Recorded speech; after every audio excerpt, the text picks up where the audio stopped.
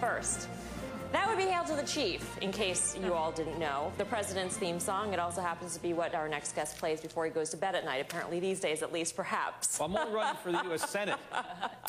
Peter Schiff, the candidate uh, of Euro Pacific Capital, joins us now. You know him as a, a bearish voice on the U.S. stock market. What is your message to your constituency?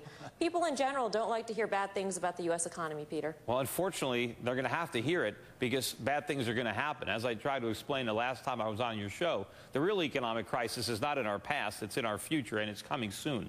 And the reason I want to go to Washington is to really prevent the worst case scenario from actually playing out. How?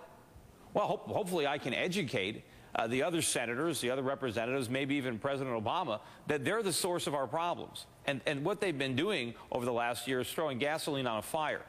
Peter, you come on our show quite often and, and other shows on CNBC. You have that chance to educate people in Congress as well as educate the president. But when you're actually there, what will you do yeah. beyond education? Yeah, I don't know how many of them are watching me on CNBC, but I think if hey, I'm on the Senate floor, I think if I'm on the Senate floor, they're going to have to listen to me.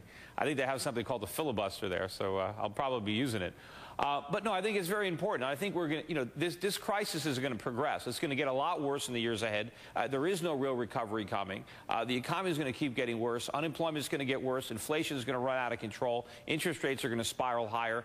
And, and somebody has to be in the Congress to actually explain to the other representatives why this country is in so much trouble and what has to be done in, in, in order to enable all of us individually and enable the market to solve these problems. With respect, Peter, for the third time, I'm going to ask you, so what needs to be done? well, what needs to be done, we need to shrink government instead of expanding government.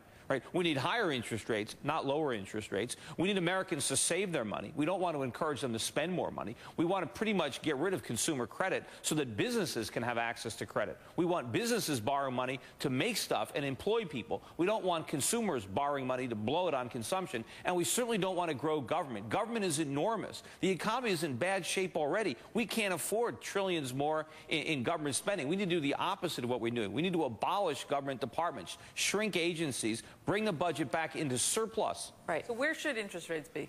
Much higher. I mean, okay, look, what? Five? I, eight, I don't what? know, but the, it's not. It's, it's, not up to me to decide. The market should decide, not the Federal Reserve. I know they shouldn't be zero. We have a nation where nobody is saving and everybody is borrowing. How can interest rates be be zero? And when you have an artificial interest rate that's low, it distorts the economy. It creates malinvestments. It, it, it creates artificial booms that ultimately have to bust.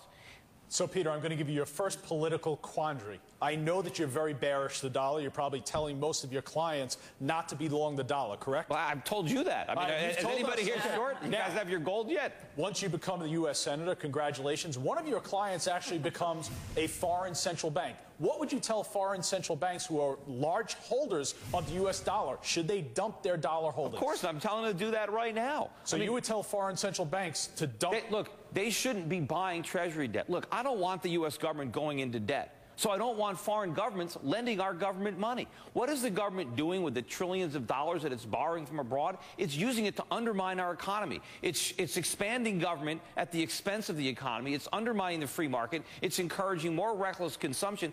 I want foreign enablers to cut us off. Stop lending money to my government because they're going to force me to pay it back with interest or they're going to create massive inflation that is going to wreak havoc on the American economy. Is there any form of stimulus that you would implement that you think would work the way well, you'd like unfortunately, what we have now is not stimulus, it's sedatives. The only thing that government stimulates is the problem. Right. Real stimulus would be to shrink government and to allow the free market to work. Unfortunately, we're going to have to suffer some short-term pain because of all the problems of the past. We're going to have to allow people to lose their jobs in the unproductive part of the economy so they can get new jobs. We're going to have to allow companies to fail right. that aren't profitable. The government's going to have to sit back and let this happen. But if it does, there's a lot of light at the end of the tunnel. The free market is very dynamic. We can have a lot of growth if the government will get out of the way. But right now they're putting roadblocks. They're preventing the market from curing the problems as they're making it worse. And they are setting up a major, major economic disaster. 2008, you know, was the warm-up. The main event is coming, whether it's 2010 and 2011, right. but it's coming. And if no one in Congress understands why, you know, it's going to be a complete disaster. All right, Peter. Got to wrap it here. You're All right, well, schiffforsenate.com. Any, anybody live in like Connecticut to vote for me? candidate, Peter. Like a All right, I'll get your vote, but if you want to contribute to the campaign, Yeah, all right. We, we can't do that. Linda McMahon, I guess, if you're out there, you can come. Well, she, you know, she doesn't need any money. She's got, she's got more than I do. Thank you, Peter. Time now to answer a fast message.